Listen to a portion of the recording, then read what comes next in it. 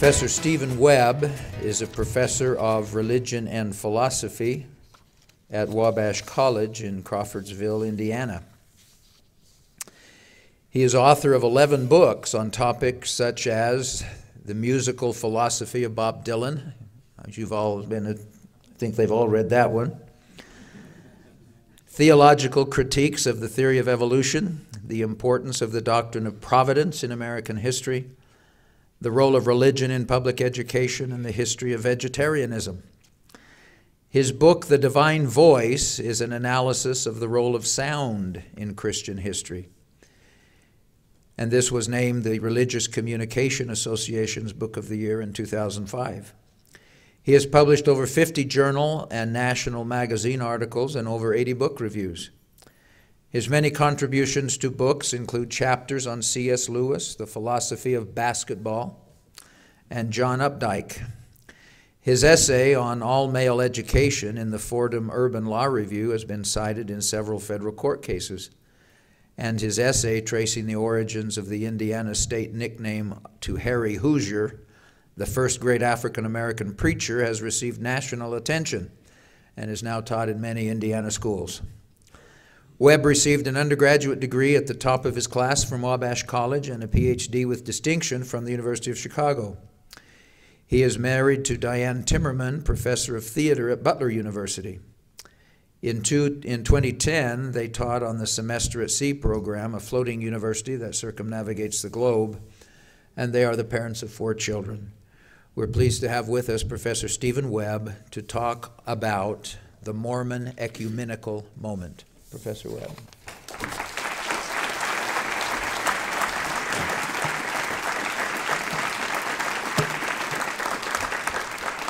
Thank you, Richard, for this invitation and for making this week so special and meaningful for me. And I have to thank uh, and have the honor of having President Samuelson and his wife here tonight, and the Wheatleys, uh, the Wheatley family, whose generosity has made all of this possible, and also Truman Madsen's wife. And I especially want to thank Emily, his daughter, who was my campus guide this week. And uh, I really think that through Emily, I've gotten to know uh, her father. And so I thank you for that. Uh, this lecture is a great and humbling honor for me. When I first started a serious study of Mormonism, I read the works of two men. The first was David Paulsen, and I'd like to dedicate this lecture to him. Although I've never had David Paulsen in the classroom, I would be very, very pleased to be counted as one of his students. The other scholar was Truman Madsen. His book, Eternal Man, was unlike any theology I had ever read. I did not even think such theological views were possible, let alone that they could be delivered in such refreshingly inspiring and engaging prose. Reading these two men convinced me that I was going to be in for a transformative and joyous ride with Mormon theology, and I have not been disappointed. On the day that I was putting the final touches on my book, Jesus Christ Eternal God, which includes a discussion of Mormon theology, I was rereading the Book of Mormon, and I don't think I'd really seriously read the preface that Joseph wrote to it. And I was very happy to find in the preface that Joseph used those very same words for my title, calling Jesus Christ the eternal God. And that confirmed me in knowing that I had found a kindred spirit. With Mitt Romney's defeat in the presidential election, it might be tempting to say that the Mormon moment is over. I think that would be short sighted. It is probably true that the media will turn its attention elsewhere, looking for something new that can sell the news. But I think interest in Mormonism sparked by Romney's campaign has the potential to open up a Mormon moment of much greater duration and lasting significance. This longer moment is what I call the new Mormon ecumenicism. Ecumenical means of worldwide scope or application. And Mormonism, with its impressive overseas growth, is clearly ecumenical in that sense. But ecumenical also means the attempt to restore unity to Christian churches separated by history, doctrine, and practice. At its best, the ecumenical moment, movement tries to show how the various branches of Christianity are all nourished by and contribute to the same root. The ecumenical movement, unfortunately, has fallen on hard times. Old theological battles have not been won or lost, and little progress has been made by replacing theological dialogue with social engagement. Nonetheless, there is reason to suspect that Christianity is on the verge of potentially radical transformations. The rise of a truly global Christian community is breaking down not only geographical barriers, but also doctrinal walls that have kept churches divided for centuries. A fresh start is needed. And what better way to revisit Christianity's past and to re envision Christianity's future than to examine one of the youngest branches on the Christian tree? The Mormon branch of Christianity is young, but it is also gnarled with the wisdom of the ancient past. Scholars categorize Mormonism as an example of 19th century restorationism. Many of the early leaders of and converts to Mormonism were inspired by Joseph Smith because they did not find what they were looking for in any other church. Lots of people in America's frontiers shared this general dissatisfaction with the state of Christianity. I grew up in a restorationist church that is part of the Campbellite Stone tradition. For us, restoration meant going back to the Bible. We thought that the only way we could counter the forces of secularization was by rising above history in order to return to a simplified version of the New Testament church. Mormon restorationism is unlike this or any other version. For Mormons, restoration requires an arduous work of reconstruction that leaves no room for a nostalgic view of the past. Rather than abridging the gospel, Mormonism dares to maximize it in all of its lush complexity. So much of Christianity's richness was discarded in the early church's struggle for institutional stability and theological consensus. Those hard fought theological battles left scars that were not so much healed as they were covered up by the questionable medicine of amnesia. Joseph Smith's most important intellectual virtue it seems to me, was an ability to look into the past with an utterly fearless and therefore expansive, not contractive, imagination. Christianity today, for all of its global success and growth, remains a divided and fragmented faith.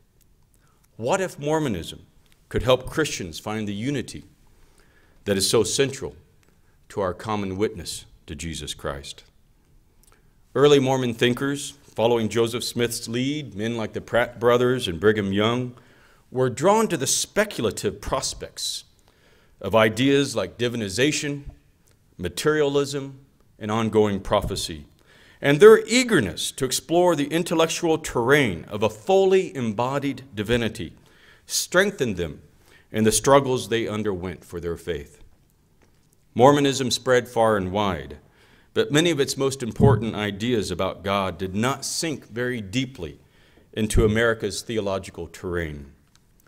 The idea that God is embodied in particular had little appeal to America's emerging class of professionally trained theologians, eager to prove that they were the match of their European peers, and anxious to salvage, by the end of the 19th century, the moral ideals of Christianity from Darwinian materialism. All of that has changed today.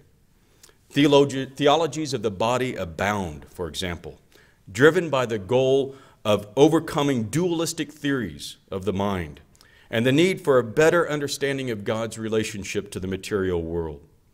Scientists continue to discover new forms of matter, while philosophers speculate about how novel properties can emerge from the interaction of relatively simple physical systems.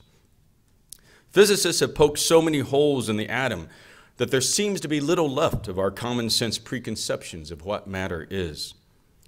The physical world is not as solid as it once appeared to be. The scientific mysteries and metaphysical complexities of matter are an indication that the time is ripe to reconsider the old Platonic axiom that God is pure spirit.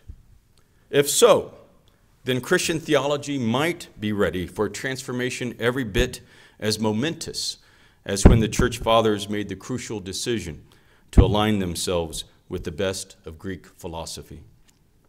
Like all restorationists, Smith taught that the church had lost sight of its original message. And many Mormon scholars have identified the alignment of Christianity with Platonism, or to use more colorful, colorful language, Augustine's baptism of Plato, as the source of theology's decline. Now, caricatures of Plato's philosophy should be avoided.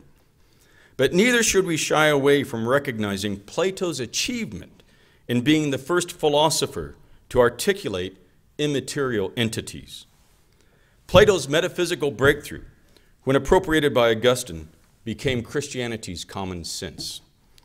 The idea that God, the soul, and all heavenly realities are immaterial, however, pushed the divine beyond the reach of most people's imagination and according to the Mormon account of church history, separated the institutional expression of the church from its revelatory ground. The removal of God from the realm of sense perception resulted in a crisis of religious authority. The systematic ambition of creedal formulations increasingly took the place of testimony and prophecy. Now, note that the problem that plagues church history from this perspective is not institutionalization in itself. The saints, unlike radical Reformation groups, are not wide eyed decriers of the impulse to organize religious sentiment into hierarchical structures. Unlike churches in the radical Reformation tradition, the saints are not nostalgic for a form of primitive Christianity that preceded Christendom, the period in which Christianity united cultural, social, and political authority in Western Europe.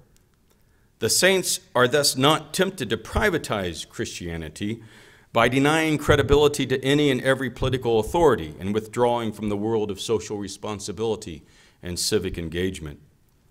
The problem with creeds, when seen in the light of what I would call a metaphysical reading of church history, is that dogmatic consensus grounded in the philosophical abstractions of an immaterial worldview can never do justice to the reality and power of Jesus Christ.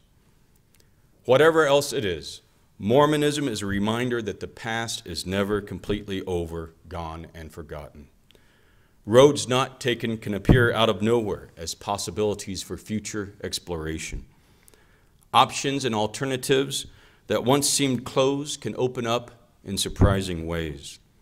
As a Roman Catholic, I believe that the early church was guided by divine Protestants, by divine providence, towards creeds and hierarchies that were necessary for institutional survival and theological coherence. Christianity had to set itself apart from the violent world of pagan mythologies and Gnostic fantasies, where gods fought each other in a cosmos governed by neither mercy nor law. Most of the alternatives to Christianity portrayed the material world as evil, a proposition that struck many people in the ancient world as common sense given how short and painful life could be.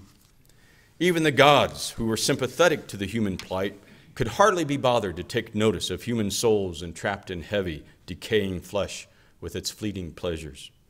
The better gods kept their distance in the heavens above from all the cruelty and carnage here below. In this cosmic drama, the Gnostic one, humans were nothing more than a sideshow with no one to save them and no guarantee of a happy ending. The early church took a variety of measures to turn back the tide of these metaphysical fables with their monstrous spiritual implications. Theologians posited that God created the world out of nothing in order to show that matter was under God's complete authority and thus not mired in evil. The immortality or preexistence of the soul was denied in order to make sure that everyone understood that God has no competitors or even allies in his status as the only eternal being. The doctrine of providence began eclipsing the belief in human free will in order to assure the faithful that God is in control of the universe. Arguably, all of these positions were good and rightful and needed in their day, and they were affirmed by devout followers of Jesus Christ for the best of reasons. Nonetheless, there might be reasons in our own time to give their alternatives another look. Mormonism is more that is about more than matter, of course. A strong case can be made for the importance of other Mormon teachings in the revival and reunification of Christianity today. The question of matter, however, for me, lies at the heart of modern perplexities about religious faith. Atheism is widespread because so many people think that every aspect of existence can be reduced to a set of physical causes, even while scientists keep pushing the limits of our ability to imagine what matter is. What the world needs now is what it has always needed a renewed and renewing sense of the reality of God. But how can God matter to the modern world when people today have a worldview that is so thoroughly enmeshed in the physical world? This is where Joseph Smith's revelations about the nature of God have the potential to guide the church into a new age. Could it be that Smith, who had virtually no formal education, put in motion ideas that could overturn all of Western theology and philosophy. That claim sounds incredible, but it is actually very plausible. The world of ideas today seems to be stuck between a rock and an empty place. That is, between the hard, reductive, yet scientifically successful explanation of all things by reference to material causation, and the insistence that our minds, as well as all that we most value in life, are not the product of arbitrary and random physical forces. The mechanical view of matter treats nature as a machine that follows the laws of strict causal determinism, which leaves no room for freedom. Immaterialists respond to reductionists by insisting that our minds are not identical to our brains. Our thoughts and ideas are real, but they do not occupy physical space. Reductionists scoff at the possibility that anything can exist without being located somewhere, while immaterialists bemoan the picture of a world bereft of all the qualities that make human life meaningful and unique. The debate between these two camps seems interminable and unceasing. Is there a solution? Mormon metaphysics opens the possibility of a third way between these two alternatives. Plato invented the, the idea of immaterial substances when he argued that our knowledge of something is really knowledge of an idea of that thing. Matter for Plato was essentially unknowable because our knowledge of matter is limited to the form it takes. Matter by itself, therefore, is close to being nothing, since it has being only when it is, in, when it is, is formed in some fashion. Aristotle is often thought to have had a better view of matter, a more positive view. But his definition of matter as pure potentiality left it as a lifeless opposition to the pure actuality of God. The theologians who adopted the philosophy of Plato and his students were more concerned about the Greek insistence on matter's eternity than the problem of matter's knowability. Following Augustine's lead, they put a stop to matter's eternity by positing the idea that God created the world out of nothing. This had the effect, however, of making matter even more mysterious, since there is no analogy in human experience to someone being able to bring something out of nothing. After Augustine, only something immaterial could be eternal, and a great gulf opened up between the divine and everything else. Now, Smith began bridging the gulf between spirit and matter with his first vision, in which he saw God the Father and God the Son as two individual and fully embodied persons. He could have denied the reality of what he saw by treating his vision as an example of how God, infinite and mysterious, accommodates himself to our finite state by appearing to be something he is really not. Or he could have treated what he saw as simply an empirical fact. That is, he could have treated his vision as no different from seeing a couple of farmers walking down the road. He did neither of these, I think. Instead, he accepted the reality of what he saw, while at the same time affirming the even greater reality of what all Christians will see in heaven. In other words, he inferred from his vision that the world consists of multiple levels of physical reality, rather than simply two kinds of substances, one material and one not, one immaterial. Christians have always believed that our physical bodies will be transformed in heaven, all Christians. and thus deeply hidden within Christian faith is the acknowledgement of matter's potential glorification. Smith provided this belief with a truly cosmic foundation by showing how the very criterion of becoming spiritual entails the perfection, not the evacuation, of material existence. Joseph Smith did not live long enough to develop his convictions about matter into a full fledged theological worldview. That task, though, was taken up by an early convert, convert named Orson Pratt. There was nothing in Orson Pratt's background to suggest that he would end up being Mormonism's first systematic metaphysician. His intellectual labors were of one piece with his missionary work. He was the first Mormon missionary to Scotland, where he absorbed the heated debates about science and religion that were prevalent in Edinburgh. He took to writing pamphlets, almanacs, and books in defense of Smith's revelations.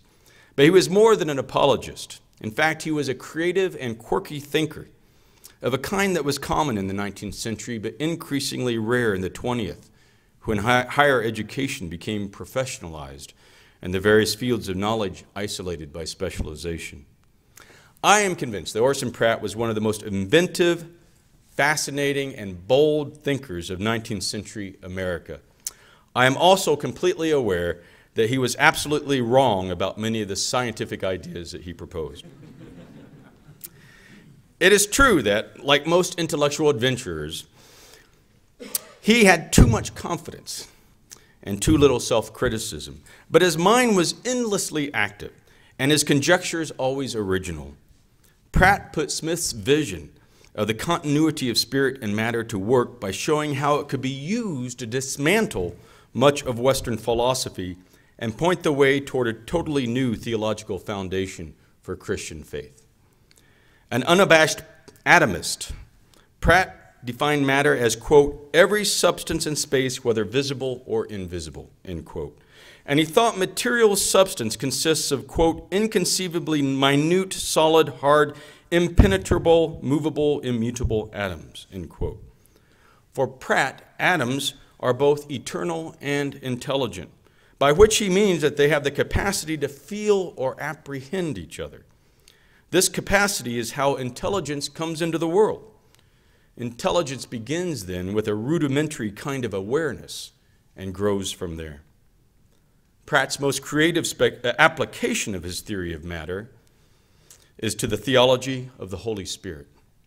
The third member of the Trinity has always been a somewhat overlooked and neglected aspect of the divinity. Augustine defined the Holy Spirit as the mutual love of the Father and the Son. But that does not give it much independence as a divine person in its own right. The Greek word for spirit, pneuma, means wind or life, which is an apt image for a force that is unpredictable and emotional. The New Testament also calls the Spirit our advocate and consoler and comforter. The Spirit inspires us to keep following Jesus after his ascension to heaven. Clearly, the Holy Spirit has tasks that make it distinct from the Father and Son. Yet, traditional theology hesitates to affirm any differences among the three due to the conviction that God is immaterial. If God is immaterial, then God cannot be divided. Even the work that God does in the world has to be one. The ancient rule of the church is that what one member of the Trinity does, they all do. They act in absolute concert and harmony. It is this theological rule that has kept theologians from devoting sufficient attention to the distinct reality of the Holy Spirit's power. By affirming an, a material God, Mormons have a more robust understanding of the individuality of each member of the Trinity. For Pratt, the Father and Son are embodied beings in a way that the Holy Spirit is not. The Holy Spirit is a kind of supermaterial substance that is in a class of its own. He often called it the holy fluid because its substance was uniquely available and, and universally distributed. The Holy Spirit is a kind of gravitational force that, rather than pulling physical objects closer to each other, lifts the spiritual substance of every object toward higher levels of perfection. Pratt's theology of the Holy Spirit never became Mormon doctrine, probably because he did not give an adequate account of Joseph's revelation showing that the Holy Spirit has a spirit body with its own specific form. Another theological problem is that Pratt appears to elevate the Holy Spirit above the Father and Son in terms of importance and power. These theological deficiencies, however, do not take away from Pratt's philosophical prescience. Since Pratt's time, philosophers and theologians have been scrambling to reformulate the basic propositions of Western metaphysics in order to keep up with scientific advances. Process philosophers talk about matter in terms of events which are so intimately related to each other that they can be said to feel each other. The field of, emer of emergent studies argues for top down causation to explain how novelty emerges from chaos. Quantum mechanics suggests that the smallest particles just might exhibit some of the traits that we ordinarily associate with human freedom. String th theory has given rise to speculation about multiple universes, which was a favorite topic for Pratt following Joseph's vision, vision of worlds without number. In biblical studies, scholars are just beginning to recognize how deeply corporealistic the Israelite understanding of God was. And the same can be said about the Stoic influence on the Apostle Paul. In fact, an index of how far we have come from the New Testament world is that when most Christians hear Paul talk about the Spirit, they automatically assume he is talking about an immaterial substance, when it is actually much more likely that he accepted the Stoic view of the material constitution of divinity. What would it mean for all Christians today to recover a sense of the real physical power and presence of the Holy Spirit? Perhaps the most important legacy of Pratt's voluminous writings is to make the case that a material God, besides being able to share our joys and sufferings, just might be even more mysterious than an immaterial God. After all, a material conception of the divine requires us to reconceive the majesty of the physical world in ways that the sciences have not yet fathomed. Only if matter is not perfectible does its attribution to God disparage and denigrate God's glory. It certainly makes it easier to understand God's love for us, as well as God's willingness to suffer on our behalf, if we let matter into the heart of divinity. Surprisingly enough, the Mormon view of God might not, at the end of the day, look so different from the Roman Catholic position. Indeed, Mormonism and Catholicism have a lot in common, in spite of the fact that Joseph Smith had little contact with Roman Catholics during his formative years. The two traditions share a love of ritual, an affirmation of the holiness of space, a robustly conservative moral tradition, a respect for the necessity of religious authority, and a strong sense of a community of believers that transcends the limits of time to include the dead. Mormons and Catholics also, also share a conviction that the material world can convey the substance of the divine. They express this conviction in different ways, of course. For Catholics, everything about matter is concentrated into the singular moment of the Eucharist. Mormons, by contrast, have a very Protestant understanding of communion. And this confused me when I first began studying Mormonism and talking with Mormons. How could Mormons have such a creative view of the ultimate destiny of matter and at the same time have a low, pragmatic, and somewhat informal view of the Lord's Supper? The answer to that question came to me when I began to realize that Mormons have their own version of transubstantiation which is located in a different theological place than Roman Catholicism's. Both Catholics and Mormons believe that Jesus Christ initiates, instantiates, and consummates the process of redeeming material creation so that our hopes and dreams for eternal fulfillment in God includes our whole bodies. For Catholics, transubstantiation is dramatized in a quite literal way in the Eucharist, where the bread and wine become the fruit, first fruits of the eschatological economy of God's, of Christ's abundantly capacious body. For the saints, the Eucharist is a symbolic meal, providing a visible lesson, indeed, a tactile reminder of what Jesus Christ did, us, did for us on the cross. Now, to the Catholic mind, you should know, Catholics believe that Mormons have imbibed, imbibed a bit too deeply of the Protestant critique of ritual which turns communion into an inward and subjective journey and away from matter. But this reading of Mormonism is seriously flawed, I think, because it looks for transubstantiation in Mormon theology in all the wrong places. Mormons can appear to treat the Lord's Supper as a memorial affair because the saints actually locate it, locate transubstantiation in the potential for every event, no matter how mundane, to convey God's grace. As Elder Holland said in a talk entitled Of Souls, Symbols, and Sacraments, and I love this quote, quote, a sacrament could be any one of a number of gestures or acts or ordinances that unite us with God and His unlimited powers. From time to time, indeed, as often as is possible and appropriate, we find ways and go to places and create circumstances where we can unite symbolically with Him and in so doing gain access to his power. Those special moments of union with God are sacramental moments. They are moments when we quite literally unite our will with God's will, our spirit with his spirit, where communion through the veil becomes very real. At such moments, we not only acknowledge his divinity, but we quite literally take something of that divinity to ourselves. Matter itself in Mormonism is bursting with transubstantiating power. Everything we do should rise to the occasion of the Lord's Supper. Where Mormons focus their transubstantiation, their imagination of transubstantiation the most is in the afterlife. No Christian tradition has ever had such a concrete, specific, and creative view of heaven. Every good thing we do in this life, the saints believe, we will do in the next, only with purer joy and greater results. In the next life, the saved will exercise power over matter sufficient to create and rule new worlds. The true limits of matter will be dis discerned as the necessary condition for matter's rehabilitation from every evil, and all false limits on matter will be lifted.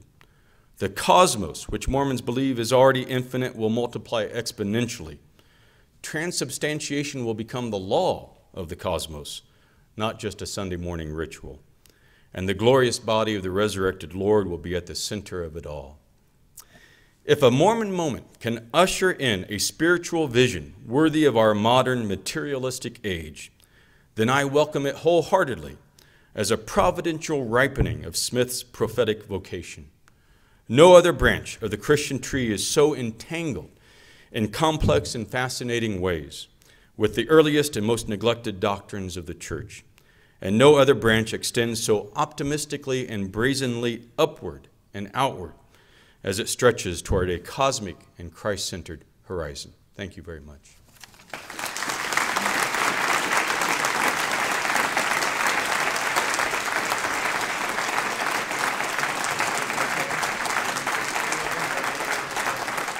We have time for a few questions. We usually invite students to be the first to ask those questions, but if you just make your way to the microphone, he'd be able to take a few of them. Great.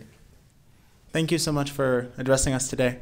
I had a question. I was interested in hearing your, your view about how, uh, materiality and the vicarious rituals that Mormons engage in the temple, uh, baptism for the dead, and such things, how that kind of relates into your vision of Mormon materiality and how that relates to ancient Christian thought as well. Yeah, I think the temple rituals are really where the transubstantive imagination of uh, Mormonism is at its strongest and, and uh, its clearest. And, you know, I, I think Mormonism, like Catholicism, uh, tries to articulate a real bond between the living and the dead. I think of the Protestant Reformation really as uh, one of the most significant things it did was to draw a very hard and fast line between the living and the dead. Uh, the Protestant uh, reformers did not want and did not believe in any kind of interaction between the two uh, praying for souls in purgatory, for example, uh, and, and having and the idea that saints, uh, uh angelic beings, or, or, or, or, people in heaven, uh, saints in heaven could interfere, uh, could intervene, and and we could actually interact with them. These were things that, that were ruled out of the Protestant theology, and I and I think Christianity suffered from that.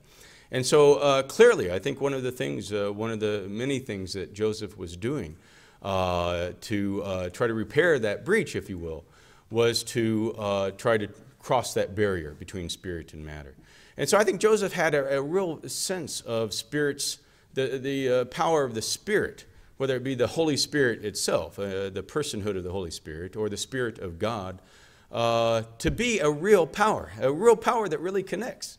I think that uh, when, when, you don't have that sense of the Holy Spirit as a real power, a physical power that actually connects matter to matter, uh, then some of these rituals, uh, whether it's in the Catholic Church in terms of purgatory or whether it's in the Mormon Church in terms of baptisms for the dead, uh, don't make sense to modern Christians. Uh, but that's where I think uh, Joseph Smith has a lot to teach us and actually has something in common with Catholicism. Thank you very. Thank you.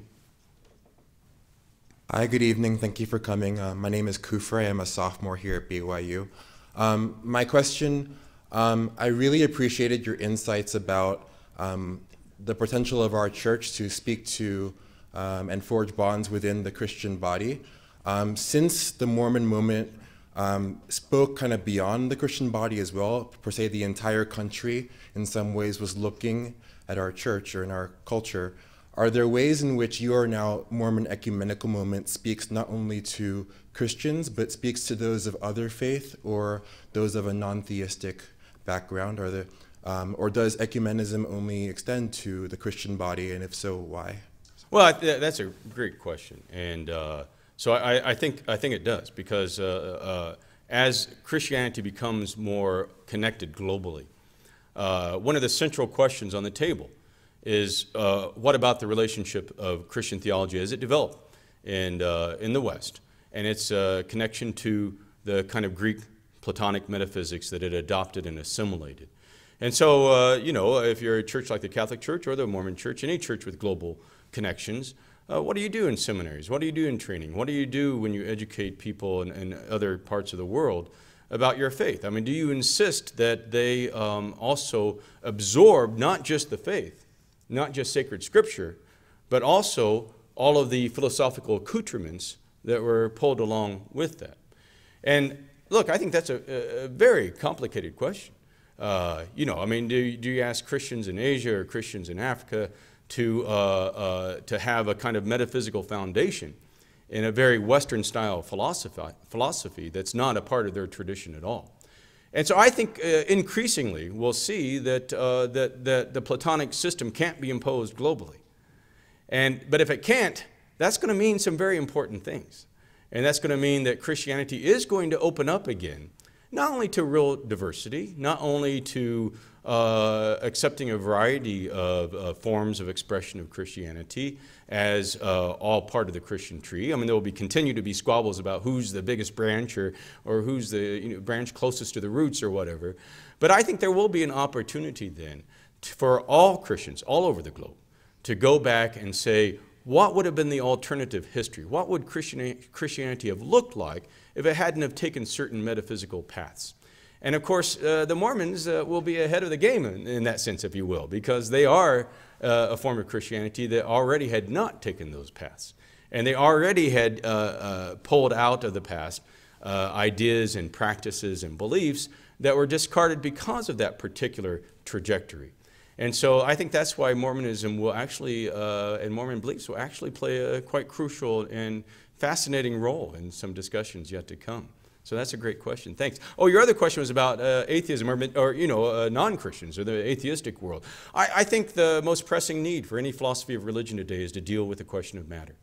You know, I, I, the reductive theories of, uh, of human nature uh, just proliferate. And, uh, you know, people in higher education, people in the elite culture uh, seem hardly to believe in freedom anymore, in free human agency. And uh, so there's got to be some way of rethinking uh, Christianity's view of matter and making human agency seem more real to people. Uh, and so, again, that's going to re require, though, a really different, I think, uh, thinking through of matter. Look, the Platonic tradition really did end uh, in a certain kind of dualism, you know, so that uh, the soul or the mind is um, not really connected to the body. And for the past 300 uh, years or more, or at least since Descartes, uh, philosophers have been squabbling about whether it's possible to have a kind of immaterial view of the mind and how to connect the mind and the soul to the body. And uh, so, and, and by the way, most philosophers have given up on that. right? And so now people are trying to just work through a reductive materialism.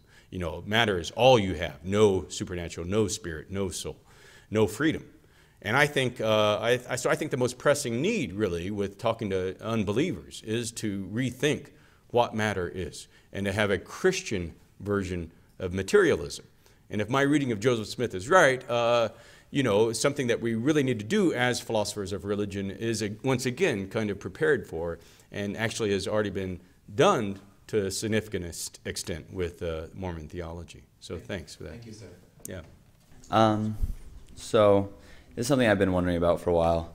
Um, so you know how you're talking about the physical, philosophical accoutrement. So, um, so one of the things that I've been wondering about is um, a lot of times with atomism and materialism, there's just kind of this automatic uh, go-to towards determinism, um, which kind of takes away a lot of the moral responsibility or um, whatnot. And so um, I've just been I've just been wondering how like um, how can materialism work together and still have um, free will? The the only thing I can think of is like some sort of chance, but I don't know. Yeah, well, I'm hoping my study of Mormon theology will explain that to me. I, I, mean, look, these issues aren't easy, but, um, but clearly we have to change our view of matter. See? I mean, if you define matter in terms of causal determinism, if you think of matter as uh, exhausted, uh, the explanation and understanding of matter as being exhausted by uh, describing its causal nexus, then yes, uh, materialism is, is, is uh, viciously against uh, any form of humanism or religion or Christianity, any, any kind of view of, of human freedom. But, uh, but I think that I, I think there's uh, ways to think of matter other than in that kind of mechanical model. And by the way, I think science itself is pointing in these directions. I mean, no one knows what, uh, what is happening causally on the quantum level. So the deeper you get to the, the roots of matter, whatever matter is, uh, the less clear uh, our theories of what causation actually is. Yeah. Uh, so with the entanglement, uh, for example. Uh, Could it have something to do with um, chance? You know how like in um, quantum theory, like the idea of like collapsing waveforms, like the like it's either there or not there at the same time. Right, right. And so the indeterminacy of, of locating yeah, an, and electron. and so what I'm wondering is if um, like could some form of like indeterminism like does that does that allow um, agency or? Here's uh, here's uh, here's my uh, view of that. Uh, uh, there has been a lot of interest in um, by theologians, Christians, thinking about chance. That maybe chance is the magical doorway back into human freedom, right? Since there is chance, there seems to be chance, randomness. Uh, not only in biological systems, but also in, in just the smallest of physical systems. Perhaps that is the way then that we can think of freedom because the causal loop isn't closed. You see, I, I think that's a dead end. Uh, I mean, chance is chance.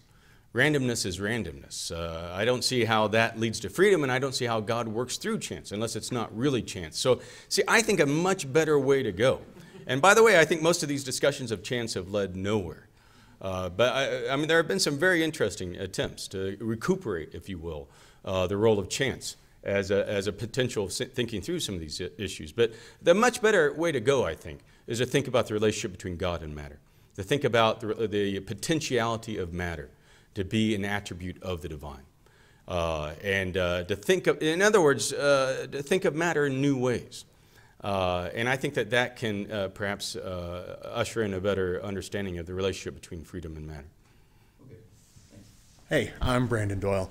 Um, in approaching this topic, I've wondered how, and I would be interested in your opinion, of how you see this conversation between not only the Mormon faith and the Catholic faith, but all, through Christianity and the world at large, how you see that developing, given the fact that um, for a lot of it, I mean, we as professors and university students and people who have the time and attention for higher education are barely grasping at these straws, are barely broaching this subject. How do you see this conversation not only permeating, but I mean, really affecting the individual and the world at large.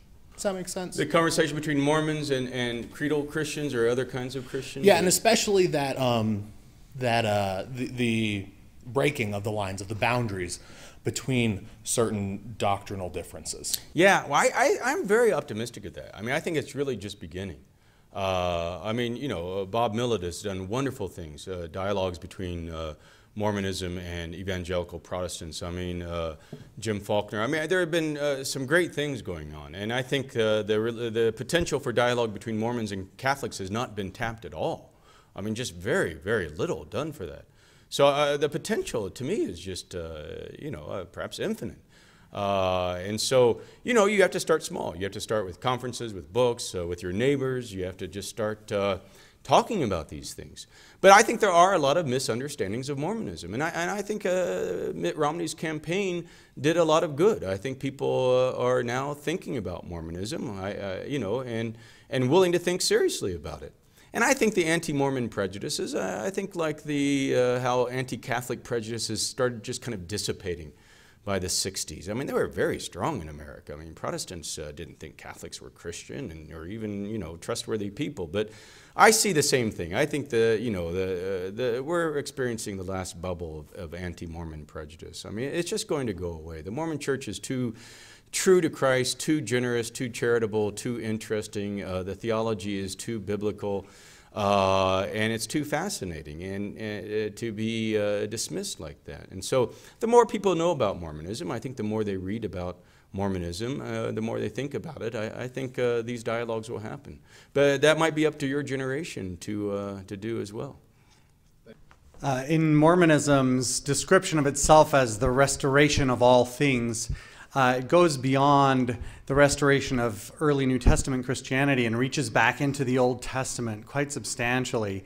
And particularly where you situate the uh, idea of this uh, transubstantiation in uh, temple ritual, which is definitely uh, very strongly connected to Old Testament mm-hmm. thinking. I wonder if you have any comment about sort of Hebraic elements and, and ancient Hebrew thought about matter and God and how that relates to Mormon thinking. Yeah, well, I'll just tell you this. Uh, uh, one of the things I, I love most about Joseph is his Christocentric reading of the Old Testament. I mean, before, uh, before a more immaterial view of the divine uh, became widespread and became the kind of uh, consensus in theology, uh, early Christians read the Old Testament as a testament about Christ. And for example, when the prophets or other people in the Old Testament saw God, and they did see God a lot, uh, you know, uh, they, the early Christians said, well, what they saw when they saw God in human form was Jesus Christ when Ezekiel in chapter 1 saw a human figure, divine, sitting atop a dome, Christians said, that's Jesus Christ. Now, of course, they might not have known it was Jesus Christ back then, but Jesus Christ already is a fully embodied person with a spirit body, if you will, to use Mormon language, was working in the world, was preparing the way for his own incarnation. And that's a beautiful reading of the Old Testament. But see, uh, you can trace out the exegesis of Ezekiel 1, and you can see the worry about that when you have a turn to material divinity, uh, immaterial divinity, because Jesus can't have a form before the incarnation.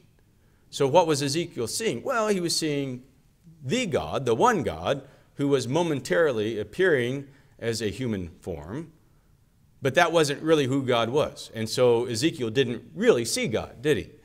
And so the Christological reading of the Old Testament drops out. Another example of that is the role of Christ in creation. You know, Apostle Paul says that the world was created in, through, and for Jesus Christ. Christ was at the foundation of the world.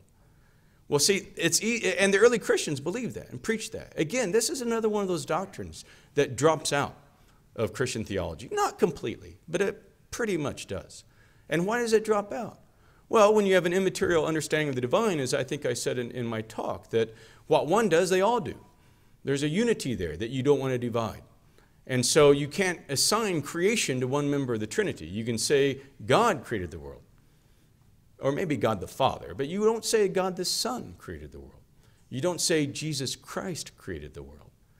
And I, I, was very, very moved when I started understanding and studying Joseph to realize that he understood that Jesus Christ is the creator. And so there are, there are things like that that I think uh, uh, that do affect our reading of the Old Testament. and what the Old Testament is all about that are at stake in these issues. Very, very important things that are at stake. So, thanks. Thank you. Thank you, Richard. I appreciate it. Thanks for your patience.